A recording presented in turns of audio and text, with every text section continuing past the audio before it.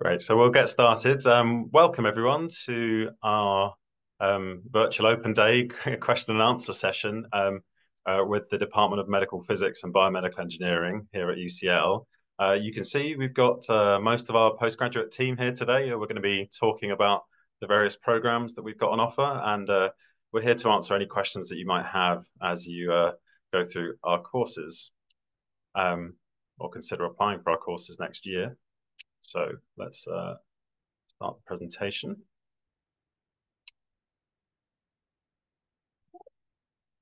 Sorry.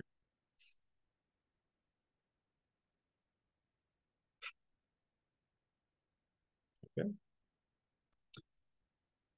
Right, so um, yeah, we're going to be looking at the master's programs today um, in the department, which are the MSc or the MRes programs. Um, yeah, my name is Billy Dennis. I'm the postgraduate programs director. So I oversee all the postgraduate programs here in the department, the ones that are taught with uh, lectures and modules. I'm also the distance learning tutor um, for our distance learning MSc, although we've got a specific session on the distance learning next week where we talk about in much more detail about that. Um, so we'll probably get to that later. Um, with us as well, we've got Dr. Rob Moss, who's uh, our radiation physics tutor specializing on that route of the MSc. We've also got Dr. Henry Lancashire, who specializes in our biomedical engineering and medical imaging route of our MSc, as well as uh, Matt Clarkson from uh, who runs the medical robotics and artificial intelligence program, uh, Dr. Andre Altmann, who is our artificial intelligence and medical imaging tutor, and also we've got uh, Catarina Veiga, who runs our master's research projects. And uh, that's a major part of our all our MSc programs and MRes programs. So uh, it's a very important part. And she's going to talk to you a little bit about how those projects run uh, generally this year. So uh, these are quick photos of the key staff. We've also got um, someone who's not here today, uh, Professor Marinko Sarunic, who runs our um, MRes program normally, but he's uh, unavailable today. So I'm going to be talking about that later. Also, someone else you might come across later in the year, Professor Dean Barratt, who's our Director of Studies in the department, runs the teaching in medical physics and biomedical engineering. So our department, um, it's, it's one of the oldest departments in the UK and also one of the largest with a broad range of different subject areas that we teach. Um, the history of the program goes back to um, the Middlesex Hospital uh, two centuries ago, um, where the X-ray device was was one of the first being operated in the UK. Um, and in 1913, we had the first uh, world's first hospital physicist professor, um, Sidney Russ, who uh, became the Joel Professor of Physics Applied to Medicine. Um, so you can see that in, in terms of history of our, our department, you know, there's there's there's some real heritage here um, going back a number of years. As a subject area, we are what we would certainly call multidisciplinary. So we cover many different subject areas with uh, academics with many different specialties, broadly defined into engineering and physics and then computer science, but also medic medicine and biology as well. We sit as a department inside the engineering faculty, and this gives us good access to all these different groups uh, uh, to collaborate with, which is a key part of uh, all our programs, including uh, the master's programs that we're going to talk about today. So we're quite a large department relatively in terms of research staff with 50 permanent academic staff and uh, 80 researchers, as well as 170 PhD students. So there's good opportunities here if you're interested in careers and research. And as master students, you also get to benefit from the experience of all these uh, uh, cutting edge uh, researchers. And on top of that, we've got about 25 professional service staff and technicians to help support all of that team. So we're a reasonably large department with a, a good opportunity for you as students to join and, and get involved. In terms of what the strengths of our department in particular are, is that we produce world leading and internationally excellent research. Um, it's well known, I guess, that UCL is, is quite high up in the university league tables right now. I think eighth or ninth in the world rankings totally but particularly in our department, the last REF, the Research Excellent Framework, which is uh, the UK's assessment of university research quality, um, our department strong, uh, uh, graded very, very highly on these, uh, with a large number of papers being world leading and excellent research. On top of that, as a master's cohort, it's a relatively smallish program compared to some other departments. So we usually have about 80 or 90 total master students. And given the number of researchers that we talked about before, it means that we get to know our students quite well. We expect the students to integrate into our research groups and become members of the department in that way. And as well as us teaching you all the latest technologies and uh, and uh, techniques that are used in engineering applied to medicine, we would expect you to contribute to that as well and join back. Um, another major strength of UCL's department for us is that because we are based in central London, um, we are in some cases right next door to some very large hospitals. Um, UCLH is the sort of sister hospital of UCL and that's across the road from the main campus. Um, there's also many other large hospitals in London that we collaborate with, and this gives you excellent opportunity for um, you know clinician visits and uh, and to join research projects with real world output uh, in in these big hospitals. So um, that's a major strength of the, of the department as well. In terms of our research, I, I talked briefly about some of this. Um, we've got many specialties in our department, but broadly they can be broken down into five rough subject areas. Um, the first being medical imaging, which probably forms a large portion, the largest portion of our department's research, and that goes into many different imaging modalities, including MRI and biomedical ultrasound, but also we've got one of the larger biomedical optics research groups using lasers and and visible light for various means, um, as well as uh, quantitative medical imaging, electrical impedance tomography, also some groups that look at electron microscopy and, uh, and advanced ophthalmic imaging. Um, so there's quite a large expertise there. Also in our department, probably one of the biggest things if you're interested in the radiation physics course is the radiation physics research groups in the department, which look particularly at X-ray imaging, and X-ray detectors and radiation detectors, as well as the proton and advanced radiotherapy research that gets done in our department for cancer treatments um, that's connected heavily with the UCLH hospital right next door. There's also groups that look at different X-ray methods like X-ray diffraction as well that you'd be invited to join. Um, a major part of the department is the computing strength of the department. We, um, as I've mentioned, are a cross-subject uh, department really and one of the main links we have is with the computer science department here in engineering. So we've got a lot of computing expertise as well used for various medical outputs including uh, computer assisted navigation and diagnosis but also computer assisted surgery and radiotherapy image computing as well. Um, we also have groups in more on the biomedical engin engineering side that look at implanted devices uh, for monitoring and diagnosing issues in the body, but also some interesting uh, treatments, for example, uh, electrical stimulation that's mentioned here, uh, neuromodulation, and some various other optical and photoacoustic monitoring. And then something that has grown up a lot in the last 10 years or so is our robotics and AI group, of which the MSc Medical Robotics and AI is, is a key part of, um, looking at surgical robotics and advanced artificial intelligence as it applies to healthcare. Now, if you want to look up, and I would strongly recommend you do, uh, our different research groups to find out how you could uh, get involved with those in future years, then you can look on our department website uh, to look at this.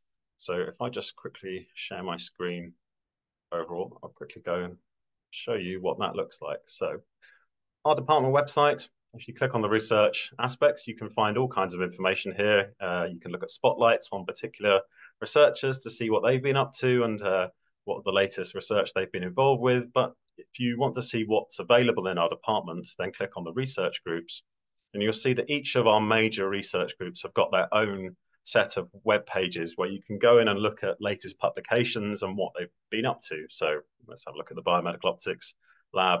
You can see the different groups that are involved in here as well and some of the specialisms. So if you want to learn more about what the department does in its research, I would strongly recommend you have a look here on those research groups. You can also look on the department website at uh, at the study options and postgraduate taught. This is us. So strongly recommend having a good look at our uh, our uh, our website to learn more about the different subjects. Okay. So turning on next to, I guess, the purpose of today, which is to look at the taught postgraduate programs. Um, uh, generally, our taught programs will fit into a base of one of these three different categories. Either they have a basis in physics, they have a basis in engineering, or a basis in computing. Now, each of these subjects will, of course, require you to study a bit of all of these subjects. We, we cross many subject areas, and that's a good benefit of the degree. You get to learn about different subjects in the context of of uh, of other experiences. And so, um, loosely, what we're going to be talking about today are these uh, five main degree programs, really, that fit within either the physics, engineering, or computing aspects. And you can see Computing aspects generally involve some kind of artificial intelligence applied to different problems. I medical imaging is a specialty in medical robotics, but we've also got the main MSc perhaps of the pro of the department, which is the physics and engineering and medicine, which has two specialties, either radiation physics route or the biomedical engineering and medical imaging route. And then we've also got the distance learning route as well. And then finally, um, the MRes, the department MRes crosses really any of these options. It gives you full flexibility to choose which subjects you'd like to study, really, and the, with the focus of getting you into research later in your career. So I'm going to start off with uh, the MSc Physics and Engineering and Medicine. Now, there's, as I mentioned, two really two main routes to this program. Um, one of which is based in radiation physics, and one of which is based in biomedical engineering and medical imaging. And so I'm going to pass over now to our lead of the radiation physics group, group um, Dr. Rob Moss, who's going to talk a bit about the radiation physics uh, MSc program. Rob? Uh, thanks, Billy. Hello, everyone. Nice to uh, meet you. Um, yeah, so uh, I wanted to talk a little bit about the radiation physics route. Um, this route is really for people who are interested in medical physics uh, and uh, careers and and, and this may include people that are interested in working in hospital, but also the medtech sector and other related industries.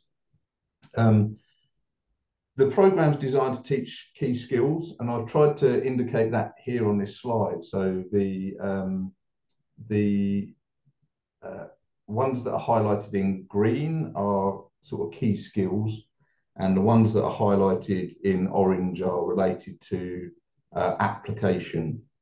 So they're the different um, module choices shown there. Um, we offer two streams. Uh, one is uh, an accredited degree. So this is accredited by the Institute of Physics and Engineering in Medicine, uh, known as IPEM. IPEM is the, the uh, recognized professional body for medical physics. Um, and, and, and that stream is ideal for people um, with career ambitions to be a hospital physicist or a clinical scientist, for example. Um, the accredited degree is a fixed program, so um, the modules that are available are those in the, the, the first and the second boxes there, so the core and the research modules, um, and uh, there, there's no options. Um, but we do also offer uh, an unaccredited route, um, and this, this has some flexibility. Um, and that enables the person who's studying to pursue perhaps some other topics of interest in this area uh, or to learn additional skills that may be relevant to the career that they want to undertake. Um, if you could flip to the next slide, please, Billy. So uh, to try and give you a bit of an idea of what program is right for who, uh, I've got these uh, three students here. Um, so Sally uh, is interested in cancer radiotherapy uh, and she wants to work in a hospital. So the route that she's chosen is the IPEM accredited route. There's no options. It's a fixed, uh, what we call a fixed diet. There's no options, optional modules. Um, and at the you know, the outcome of that is that she would be in a really good position to apply for hospital clinical scientist positions, either via the uh, the STP uh, training scheme or what's called Route Two, where you get a job as a as a junior trainee uh, hospital physicist and, and, and work your way up to uh, full medical physics status in, in that way. Um, our second student is Aaron. Aaron's interested in uh, radiation protection. Uh, the route that uh, Aaron's chosen is the unaccredited route because it gives him the flexibility to go and do the module in uh, research software engineering. And he's done this because he knows that uh, any career in radiation protection is going to require a significant amount of Monte Carlo modeling. So, so he's decided that getting some familiarity uh, with Python, for example, would be would really help his chances of getting a job. And uh, he then leaves our program and goes and applies for a job in uh, a manufacturer of radiation enclosures uh, who build rooms for hospitals, for example. And then our third student is, uh, is Kevin. Kevin's interested in uh, imaging technologies.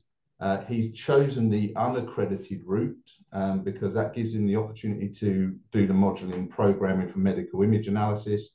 Uh, that sets him up really well, makes him very attractive uh, for med tech companies, and and in this case, he could go and work for an ultrasound development company.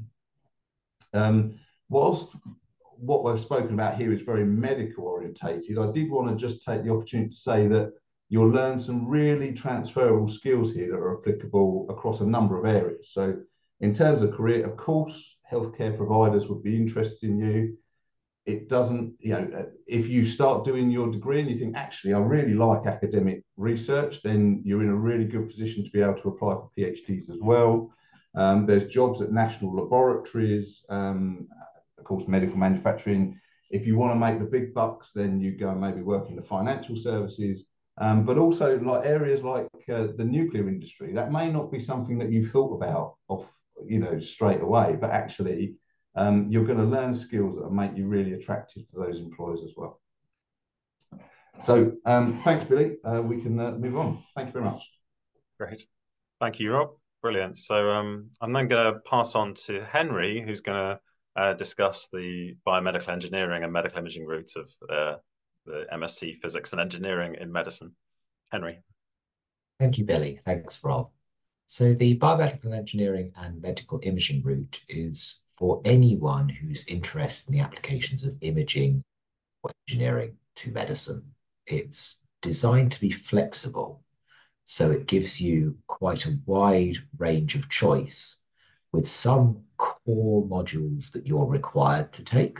So those listed here. Some of these cross over with the students on the radiation physics uh, stream. So you'll be in the same group of students from radiation physics for some modules. And then for some additional modules, for example, medical electronics and control, you'll be learning special skills, in that case, in engineering and uh, signal processing targeted at medicine for engineers.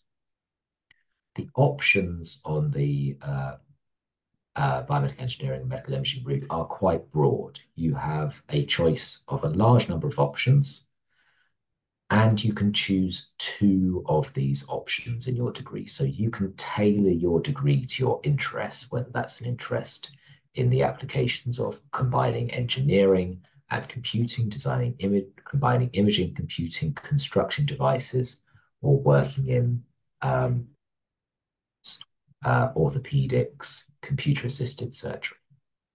Billy, slide, please. So an example of some of the paths students have taken through the biomedical engineering and imaging route includes, for example, Leonora, who was interested in medical devices and engineering and took the options on materials for orthopedics and implanted human machine interfaces to move into uh, industrial biomedical engineering. Arno, who was interested in clinical engineering, possibility of working in healthcare and chose uh, options from computer-assisted surgery and orthopedics to move into an NHS clinical engineering training program.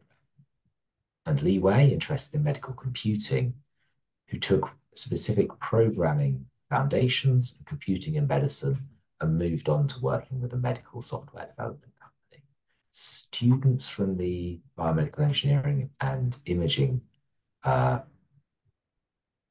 have gone on to work in a wide range of fields, not only healthcare, for example, in healthcare providers, within academia, but also going on to, for example, work in financial services, undertake a law conversion to work in uh, legal applications to medical devices, in manufacturing, and in software development. So to summarize, the biomedical engineering and medical imaging stream is very flexible. It gives you grounding in the different engineering and imaging skills you need, but then gives you flexibility to choose your own path.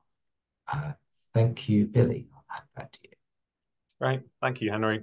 Um, so I'll move on to talk about the distance learning MSc briefly. As I mentioned, there's a whole hour session we've got on it next Wednesday. So if you're interested in the distance learning program, then uh, I'd advise you join for that. We'll talk about it in much more detail. But just briefly, the purpose of the distance learning program is to replicate our radiation physics accredited program from campus.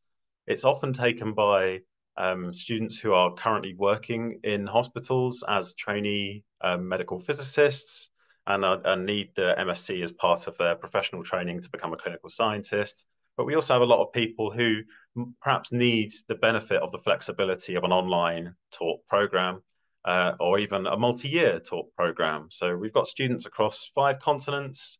We have full-time students, part-time students, and you can take up to five years maximum if you'd like to complete the degree there's a lot more variation here in terms of how you study. Generally, you study from the lecture videos that are given here on campus, um, but on top of that, it comes with additional support resources, uh, including lots of time with the personal tutor, which is myself, but also extra exercises to really engage with your learning and make sure that you're studying in a way that's valuable and successful for you. Um, uh, it's certainly much more than just watch a lecture video or read a read a textbook. Uh, it's much more interactive than that, and that's how we found it's a much more effective way of, of studying by distance learning. So um, yeah, in general, you'll study relatively alone. You've got the opportunity to do that. That's that's what the course is for. But you'll also have opportunity to actually interact with our students here on campus as part of the group project module called the Medical Device Enterprise, which we'll talk about later. But that becomes your route to absolutely work with on research projects with other students. Um, and additionally, if you're UK based, then you're more than welcome to come to campus as well for various points if you want to attend lectures. Some of our students perhaps work jobs, but uh, live in London and so can't attend every day, so they can attend a little bit. Some students might come for a bonus lab or to meet their supervisor. There's a lot of options here. The distance learning allows you that flexibility on the radiation physics route. Okay, next I'll move on to our MSc in Artificial Intelligence and Medical Imaging, uh, which is run by Andre Altmann. Andre, are you able to uh, yeah. tell us a bit about that? Yeah, thank you for the introduction, Billy. Hmm. Um, yeah, the, the MSc for AI and Medical Imaging is our newest MSc, and we started it because there has been a rapid demand and growth in a use of AI in healthcare, and I think there's no day passes without new news on how AI is going to change our, our, our lives. Um, as a consequence, there's definitely a growing employer demand. And we thought we built this uh, MSc with um, well with the mindset that you want to equip everybody with the with the tools to start working right right away in a health related um, uh, field and imaging related field, but also as an ideal starting point uh, for further doctoral studies. And as such is that the topics that we teach uh, are closely tied to the AI research that we're conducting here at UCL, and particularly at the Center of Medical Image Computing, which is uh, part of the computer science uh, faculty and the uh, uh medical physics faculty department, and also uh, the WEISS Center for Surgical Interventions. Um, next slide. So yeah, here's a short uh, overview of the curriculum. And um, there are a couple of options there and a couple of core modules. Um, so you can see in the core modules, it's color coded, whether something uh, in, I guess that's teal, uh, in light blue or teal. Um, these are computing and medical imaging and AI related topics. Uh, so more with a CS uh, content. And the orange uh, modules are uh, medical imaging related contents. And um, in the core modules, um, you can see that there's going to be programming foundations, machine learning, for medical imaging, information processing, medical imaging, and also biomedical ultrasound. And then we have this um, box around the other two, uh, which are a couple of options that you can take already as part of your core learning. Um, you can decide, for instance, between for an additional medical imaging module, whether to go for MRI biomedical optics or into imaging with ionizing, ionizing radiation. So you're asked to pick one of the two, or you can actually take both. And the other option you have to pick is between applied deep learning. Um, so that covers a broader range of deep learning models that are not really specific. Um, some of them are specific to imaging, but not to medical imaging. And then we have a newly crafted uh, module that is really specific to applied AI and medical imaging. So dealing with all the problems that you would typically encounter when trying to put those models to use in a clinic setting. Um, the research component is there's a research project, like with all other uh, MSc programs. And in the grayed out area, this is an option that you can have. Um, you can participate in the medical device enterprise scenario. So it's one of the options you can pick. Um, and in the rightmost column, you can see all the options uh, that we have available. So you can pick two out of those ones, um, one per term. And again, they're color coded. Um, so the blue ones uh, are blue and the green one are computer related, uh, computing related. and again, uh, the other imaging, medical imaging related ones um, are MRI biomed biomedical optics and imaging and ionizing radiation. So you can, depending on your interest, you can dive more and learn more about uh, imaging modalities that you'll be working with, or you can learn about more computational approaches. So depending on where you want to move in the end after your, uh, your studies end. And I think that's it. Yeah. Great. Thank you, Andre. Brilliant. Um, so that moves us on neatly to our, our second artificial intelligence based program, the medical robotics and artificial intelligence, which is run by Matt Clarkson. Matt, are you okay to say something about this program? Yeah, so my name is Matt. I'm pleased to be presenting this course. Uh, it's now running its third iteration, so we're accepting entries for the for the fourth year of this course. Again, uh, likewise with Andre, uh, we're just uh, run well. We're running this course sort of in response to you know a, a large increase in the demand for AI, but um, specifically, I guess for this course, uh, for in in medical robotics uh, and the use of AI and robotics in healthcare. There's been a variety of reports out recently saying you know this is a strategic priority for the NHS for healthcare systems globally. Um, and we've founded this off the back of our world-leading research expertise uh, in centres like uh, WEISS and CMIC that you've heard of. Basically, uh, it's closely tied in with UCL's research in this area. Uh, at the time, it was the first one in the UK. Um, I think that there are other courses coming out, so uh, I can at least claim we were the first. So that's good. Um, let's move on to the next slide, and hopefully by this point, you're starting to see uh, kind of a a common theme here. So, uh, of the compulsory ones, everyone does a research project. Uh, I think that's one of the most fun parts of it, uh, uh and it's a it's a major component. But then we have core modules. So for this MSc, there's two core modules in term one and two core modules in term two. So these are lifted, listed on the left. Uh, so we start off, uh, we'll be studying some core robotic systems engineering. And uh, we've got a fairly new module, basically AI uh, specific for kind of the data that you might get in surgical or computer vision in surgery. So this is, I guess, quite different from, uh, for example, AI for medical imaging, where you might be doing large, you know, AI studies on population studies, for example. This is specific to, you know, real-time data kind of data you get from surgical instruments, surgical devices uh, in surgery, basically.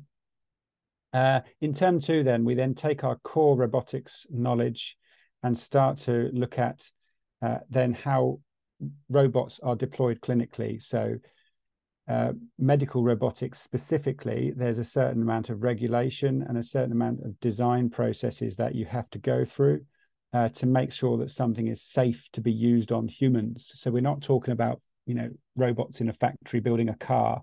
We're talking about robots that are used to treat uh, uh, uh humans, and so they must be safe to do so. And obviously, with increasing amount of data, uh, surgical data science is becoming key to informing our decision-making processes. Um, after that, we've got a bunch of optional modules. And, I guess the, the, type of module that you pick could depend on your uh, past experience.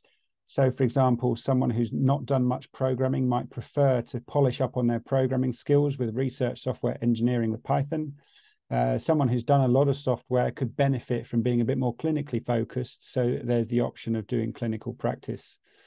Um, there's more robotics modules, uh, uh, also a sort of crossover technology, how these things could be applied to computer assisted surgery, more machine learning.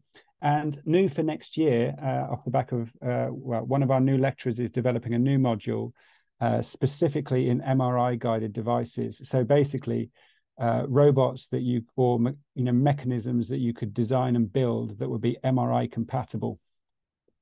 So uh, I think that's quite a wide range, uh, showing you basically how robots and AI can be used in healthcare, specifically surgery. I think that's it. Thank you. Great. Thank you, Matt. Um, yeah, so finally, our final program, which we'll mention today, is the MRes in medical physics and biomedical engineering. So this is slightly different as a master's degree to the other MSc programs. The aim really for this program is for students who would like to take up a career in research in the future, and it grounds you and gives you more opportunity to do a larger research project and then potentially you could follow it up with a PhD afterwards. Uh, although again, that's funding dependent, so you you need to uh, apply for those at the end of your masters as well. But the fundamental difference is that uh, the MRes forms two thirds of the total credit for the module for the for the course, the actual MRes project, whilst an MSc project only is only one third, so 120 credits versus 60 credits there. Um, in terms of module selections, really the design of it is is that you should pick modules that best suit what your research is going to be about, things that complement your research topics. So in that case, we can you can select modules that cover any of the other programs that we've already looked at. So perhaps if you're interested in artificial intelligence applications, you can pick the modules that relate to that. If you're interested in cancer therapy, you can pick the, the radiation physics modules. And if you're interested in biomedical engineering, you can pick those, or you can have a mix. Um, it's up to you really to pick that overall, and it, this gives you a nice flexibility. Um, one thing that is again slightly different about it at the end is that we would expect at the end of the MRes that you produced a piece of research which could be publishable. Um, and as part of that, uh, I think I'll pass on now to Catarina, who is our research project uh, organizer, who can talk about exactly how research projects work on our master's programs. So Catarina. Thank you, Billy. Um, so yeah, my, my name is Catarina and I'm the coordinator for the projects. Um, now, uh, you heard about all the different um, um, degrees that you can choose, but no matter if you go through a master's or MRes, you'll have to do a research project. And these research projects tend to form a really big part of the degrees that you're undertaking. Now, as part of the project, really what you'll be doing is to find the answer to a research question that has not been answered before. So really it's about doing a little bit of work with some novelty that fits into this scheme of um, projects and research that we have in the department. So within the research projects, you have the opportunity to work uh, with the, the, the, the department, world, which is a world-class research environment. And uh, Billy has mentioned a bit about the different groups that we have and the different areas of research. So we have the opportunity to be embedded in these research groups. And as part of your project, you'll have two supervisors that will um, be guiding you through your research experience. And they will be uh, researchers that have a lot of experience in their fields, and they'll be well suited to, to guide you to success in your projects. Now, what's really interesting about the projects is really it's an opportunity for you to get a lot of expertise in a very small part of the wide research uh, landscape uh, in which your degrees will be part. So you'll become the true expert in that little bit of research that your thesis and your reports will be about. And when we think about the project, a lot of it is about you developing skills like data analysis, experimental skills, programming, uh, all the, the hard um, skills that you need to, to get to your results. But also there's other skills that you'll be developing, such as communication. And as part of your, your projects, you'll be writing up a report, but also have the opportunity opportunity to present your research findings in the form of a poster and in the form of an oral presentation. So really, it will give you a wide range of transferable skills. And finally, just as kind of a, a big piece of advice is really an opportunity to push yourself, right? Uh, the projects are one of those that as much as you give in is as much you get in return. And really, it's a lot of pleasure to, to be able to advance uh, quite significantly in your research. So yeah, next, please, Billy. Um, so just to give you a bit of a taste of the different types of projects that we have in the department, they will range from a range of experimental projects to computational or some data analysis as well. Uh, the first one uh, that we had there was about uh, electrical impedance tomography, where they developed an harness, an experimental project for low-cost imaging. Um, the, the next one um, can we do the next one, Bailey? Yeah. So this was more of a uh, computational project using machine learning to, to do outcome modeling in a type of cancer. Next, please. Uh, I think this one didn't come through well, but this was a bit on um, an experimental project again on surgery for image uh, for non-invasive brain surgery. Next one. Uh, this is also an example of a computational project on looking at different algorithms to reconstruct uh, computer tomography uh, with multi-contrast. And uh, here is also an experimental project on developing tissue equivalent phantoms for a specific type of imaging. And then we have a last one as well, uh, which is an example of work that we've done in collaboration with clinical partners at looking the dosimetry when we have clips in the body for proton beam therapy. So I hope this gives you an idea about the range of projects that we have. And that's it from me, Billy. Thank you. Great. Thank you, Catarina.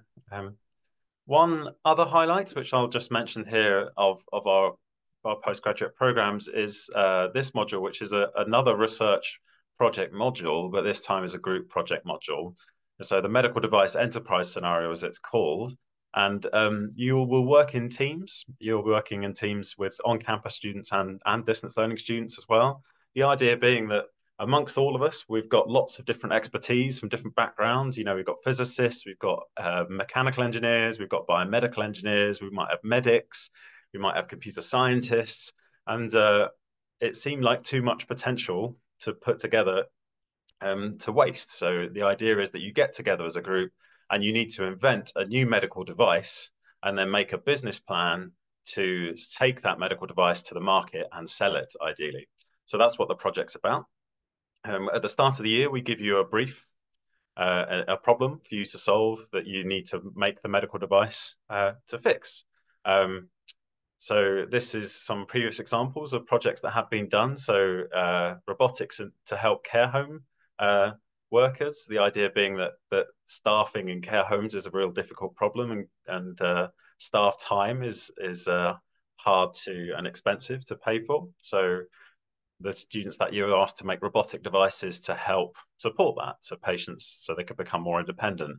Like the item here on the left here is a mechanical bed with different pistons that uh, can adjust the pressure at specific points on the bed. Uh, one of the problems this group found out in, in care homes was that patients who are immobile might get stuck in bed for days on end and they'll build up pressure sores, ulcers on their body, which can be very expensive and take uh, a long time, usually months, to treat. So this is an automatic bed that adjusts the pressure to make sure they, it doesn't build up and they don't get those sores.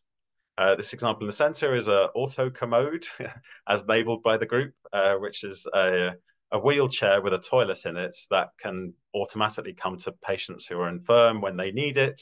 So it doesn't require the care home uh, person to, to come directly to the room with the chair or take them to, to their toilet.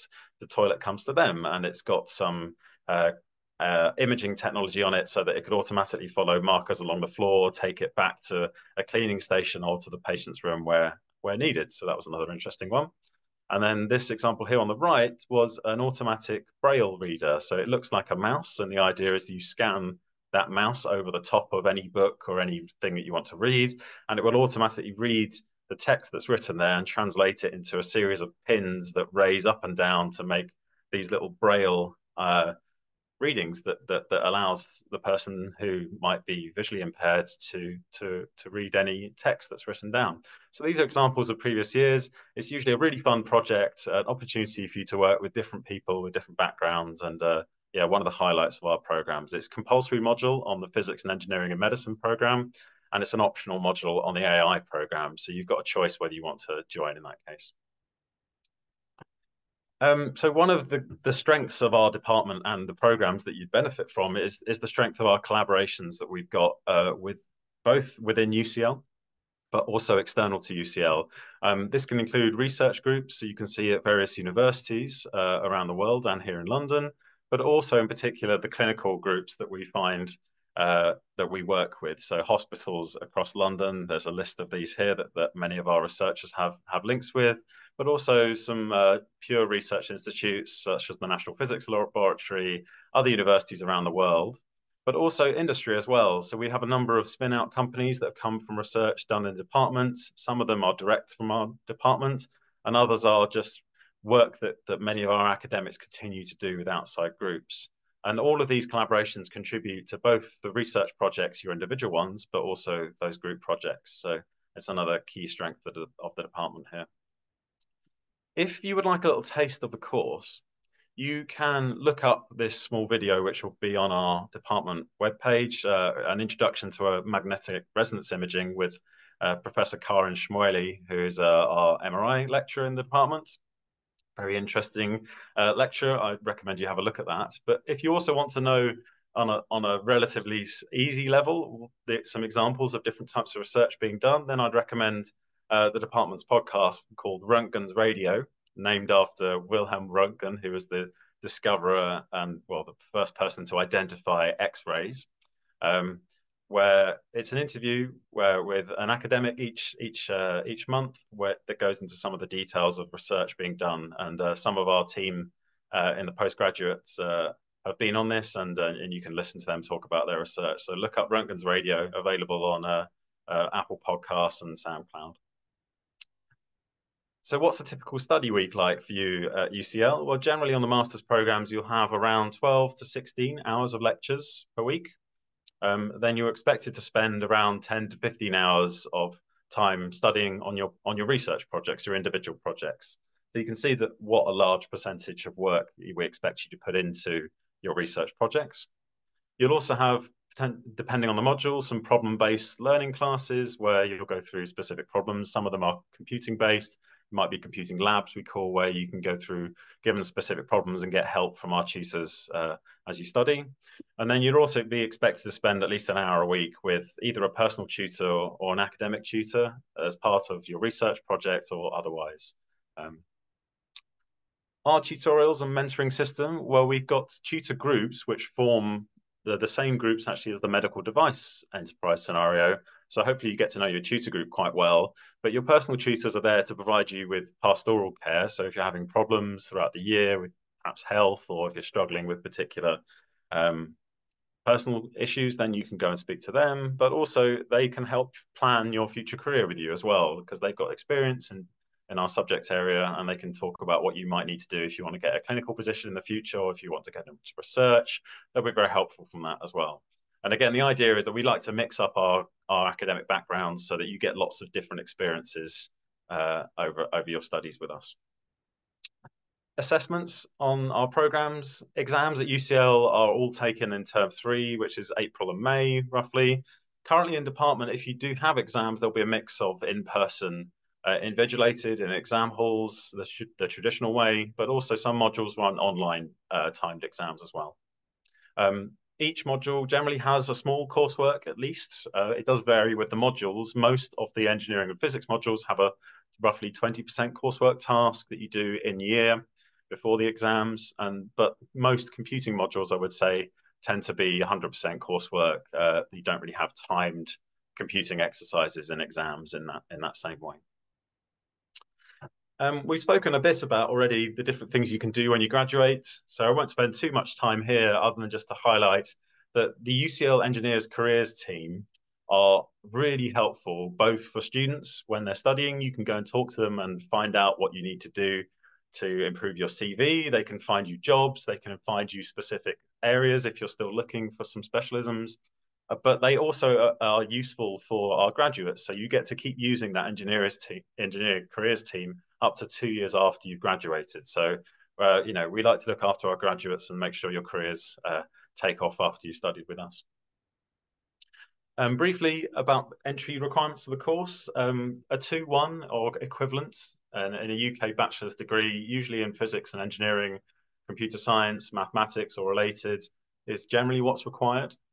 Um, in some cases, with, with the very strong applicant for other purposes, we might invite you, if you've got a 2-2, to a short interview um, to see if you would be appropriate for the course. We generally consider in cases like this for students who've got you know maybe some experience in clinical work in their background or they've got particular uh, expertise that that boost their application beyond their degree uh, results in their undergraduacy. So um, finance for the course, you can see here for next year the course fees for UK and overseas students. Um, always worth recommending the, various finance support you can get here, including postgraduate student loans from the UK government, um, but also uh, UCL scholarships, um, which you can apply for. These scholarships, generally, you'll need to apply for quite early. I've put on some examples here of the deadlines. If you want to apply for next year's fees to have scholarships with, these are some of the deadlines for these particular programs. The scholarships are usually specific to you as a student. There isn't a general department one uh, currently um, to join the program. But if you've got a particular background as a student, then you might find that some of these scholarships are ones you can apply for. So have a look on the UCL scholarships website to, to learn a bit more about that. Otherwise, uh, UCL, you know, is a is based right in central London, so it's a terrific city to live and study in. You get access to the student life that that of, of a large university like ours. You know, large number of sports and cultural and arts clubs, um, there's we're about 10 minutes walk here in Bloomsbury from the West End with all the theatres and all the comedy clubs and various other things you can find experiences. The museums in central London, we're just north of the British Museum. Um, there's lots and lots to do here in London and lots of ways you can get involved, including uh, the voluntary services units, which we recommend that you join the UCL communities and, and get involved in some of these activities as much as you can. I think we'll leave the frequency asked questions perhaps to a bit to give you a chance to ask some questions as well. But uh, finally, if you'd like to stay in touch, I strongly recommend you signing up to some of our uh, social media links. We're pretty active and run by Naomi and her communications team on Twitter and various things here where you can see latest pieces of interesting research, small videos, there's podcast episodes even outside of Röntgen's Radio. I know a lot of our teams have been doing more and more to share what they're doing with the wider world. So have a look there, and you can use this QR code to to look up some of that information as well. Um, and I think that's for the moment going to be the end of our slides. Now, we've got a little bit of time here for some questions. Um, we've got with us, first of all, perhaps one of our former students, Athena. So I wonder if I could just introduce you and uh, perhaps uh, you could give us some perspective on the on on the on the study on studying here at UCL as a master's student. So hi, Athena. Yeah. Hi. Um, could you perhaps briefly just tell us when you studied with us and what you're up to right now? um yeah I can't, I can't remember what year it was that I started now. I think it was 2021 um that I started I did uh, Matt's uh, MSc course in medical robotics and AI so I was one of the first cohorts to take it. Um so did that, absolutely loved it. So I decided to stay at UCL. Um, and then I joined one of the CDTs, which is a Center for Doctoral Training. And I know we're not talking about PhDs here, but um, the first year of that, um, you I did an MRes in medical imaging. So I've just finished that, and now I've just started a PhD in, I guess the broader topic is AI for medical imaging. Um, so yeah, that's kind of where I am right now. And I've enjoyed it so much that I've been happy to stay for another three years now. So yeah. yeah. Could you tell us perhaps what your research project was on when you did your masters? Because that's always uh, when I did my MSc, um, kind of like what everyone said, uh, there's quite a lot of like there's a lot of range of research projects that are kind of out there. So the module, the MSc was medical robotics and AI. I uh, did my uh, research project in augmented reality. Um, so I was looking at how to get accurate depth perception um, using different ways of like designing it from colors and lighting. Um, And uh, I quite enjoyed that because that kind of brought in a bit more of a kind of not exactly just robotics and AI, but like looking at different aspects of medical technology as well. Um, so it is quite, it can be quite broad. And I kind of used that as a way to also like get like to clinicians as well. So I used, I created an experiment and went to surgeons to try and get them to, you know, test it out and get my data. Um, so yeah, that was quite exciting, and I published that as well, which was quite quite good as well. So I went to a conference last year uh, in San Diego, which was fun. Um, so yeah, I enjoyed it. Yeah, terrific. That's really good. Um, Lucy, how did you find studying in central London? Like, what was the experience like of being in London here?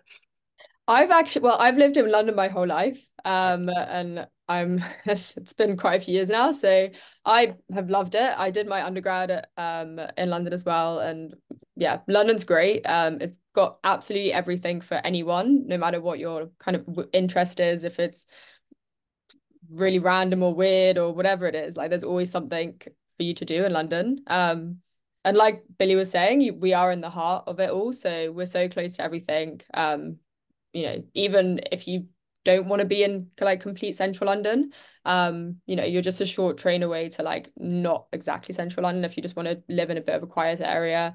You know, we're really close to um Regent's Park, so like a huge, you know, green space and everything. So I've loved it. Like there's really good food, really good culture, good activities to do, good places to, you know, go for a drink as well if you want to say there's there's things for everything. Um, so yeah, I've absolutely loved it. Like no matter what your interest is. Um, so yeah, don't be don't think the London's just this like really crazy busy central London because it's actually just this huge city that kind of has a bit of everything for anyone. But I've loved it and will stay here probably for the rest of my life. So yeah, I love it here. Great, that's good to hear. Yeah. Um, does anyone else on the panel have any questions that they'd like to ask uh, Athena right now? Perhaps? Okay, great. Well, I think we'll probably go on and look. Sorry, Billy. I've I've got a, a really quick question. Oh, no, uh. Athena, uh, you're the president of the uh, MedTech Society, uh, Student Society. I wonder if you wanted to give your uh, Student Society a little plug uh, for prospective students to join. Yeah. Um, I guess similar to what Billy said as well earlier, like there are so many societies and clubs that go on UCL, like it can be a bit overwhelming. Um, I do remember when I first started, I kind of made this long list of all these societies I want to join. And it, there's so many that there's literally something for everyone. Um, but I guess my interest and why I kind of did the MSc and why I've continued is I love anything around medical technology. Um, and we do have a medtech society at UCL. So I joined it in my very first year when I did my MSc. Um, so I've been on the committee for two years now, and because I knew I was staying finally for uh, a whole year, I uh, became the president. So I'm currently the president of MedTech Society. Um, and uh, I mean, I love it because I get to explore like not just like my PhD project is more towards AI, but it also gives me the opportunity to like explore all the different aspects of other technologies um, in medicine as well. Uh, you can do it in other ways as well, but um, yeah, I've organized like conferences, speaker events. Um, I've also got like a whole team with me who you know help me out with it. Um, but yeah, I I love it. Like one of my friends has also made a new society. She made like the Biopharma Society as well. So if there is for some reason something that you're not happy, like there is there isn't something for you for the societies, you can make your own and go with it. But it's a really good way to meet people outside of just your like academic group um and make other friends. And yeah, there's really good volunteering. There's really good like, you know, other any any kind of societies. We do a lot of collaborations as well with other ones as well. So yeah, if you're interested in MedTech Society, you're more than welcome to speak to me about it or any other things. I'm sure I can help you out with that. Yeah, I wonder perhaps maybe you could uh, drop the Instagram uh, link in the chat in case any of the attendees yeah. wanted to have a look at the Instagram page. Yeah, sure. I'll do that now. Great. Yeah. And we, we really encourage, you know, our master students in particular, because you've got a full year with us to get involved with the societies and department as well. There's opportunities, and we we want you to grab it with both hands. You know, generally uh, the students are very, you know, you're all very hardworking and very keen, and that's what we like to encourage. Um, I'll quickly go through some of the questions that people have asked uh, uh, as fast as we can here. So I've noticed um, there's one question here that says, if I want to work at the NHS as a medical physicist, uh, would I attend this course of study on my own, or would the NHS provide me with it? Um, there's a couple of options here um, commonly. So, to become a hospital medical physicist, you require a, a, training to become registered as a clinical scientist. You need to have done a master's degree and completed a number of competences competencies on the job in whatever the specialty that you're looking at. So that might be dosimetry, radiation therapy planning. Um, so some students will go onto the specific scheme that the NHS provide, which is called the STP scheme, Scientific Training Program, um, where you can they'll provide it for you, and you can study a master's with them, or you can do it beforehand. Those there are a few places on that and each year, and so having a master's is becoming more and more important to be able to apply for those. The deadline for this year's has passed already. Now it was uh, last week, um, so a lot of our students on the masters do our masters and then go to that STP scheme. That's pretty common. But perhaps more and more common these days is what's called Route Two, which is what Rob mentioned, which is where the hospital hires you in a trainee position, and they will give you the competencies that you need. Now, sometimes they hire those people without masters already, and and they might support you to do a masters part time, which is a lot of our distance learning students do, or um, you might have students who who um, who uh, yeah who've already got a masters they they use their masters to get one of those positions and we we you know we forward job applications opportunities to our students because they'll often come to us and ask oh we're looking for a graduate from your program have you got any right now and so that's another way around it so it, will the NHS provide it? There's options in both directions, basically. But given the competitive nature of it, it's sometimes helpful to do a master's first. Um, prerequisites, I saw two questions on prerequisites. So we mentioned that 2-1 is the UK equivalent. If you go to our department website with the application process on the prospectus, you can click on international equivalences to find out what European equivalences of a 2-1 in our subjects areas are, or even the US, US star ones as well. I'd be confident if you said that you are majoring in computing and minoring in physics, you would be you would be considered uh, possible to transition into our radiation physics MSc. Yeah, we that would be considered enough. So um, that's just something to say there. Um, by the way, what is the cohort size for the respective master's courses last year? So I guess this year we can talk about it. So um, uh, the physics and engineering and medicine, the both programs together is about 40. Uh, this year it's roughly 10 on each of the AI programs and um, the MRes about another 10 is pretty typical. Distance learning about 20. Um, next year we've been asked you know it's possible there might be some more places available as well. So roughly as i said it's about 70 or 80 in total with with everyone else together but that might move up a little bit um, this year. So it's a relatively small cohort and you can see all the academics here that lead them. You get a bit more personal attention that way which is a positive. Um, Anyone else on the panel? I haven't been following the chat, I'm afraid, because I had to keep the screen up. But are there any questions here that have, I've missed so far? Um, do any companies provide a graduate training scheme for medical robotics? Matt, are you able to answer anything on that right now? I'm about to type. Uh, okay. I think the short answer is not that I'm aware of. So most people with a master's uh, or, or via a PhD would end up going to a company uh, typically as a staff scientist or a staff engineer. I guess these are quite specialized positions, really. Uh, so I'm not aware of companies that run big graduate training programs. Yeah, it's a relatively new area as well. It's yeah. worth saying. So these might be developing, and you know, similarly, if we hear opportunities in department about these things, we do forward them to our students. So uh, that's always worth considering. Um, Uh, professor, I'm not sure which course would be ideal for robotic surgery because I'm interested in robotic surgery, in clinical robotic surgery. Should I take medical robotics or medical physics?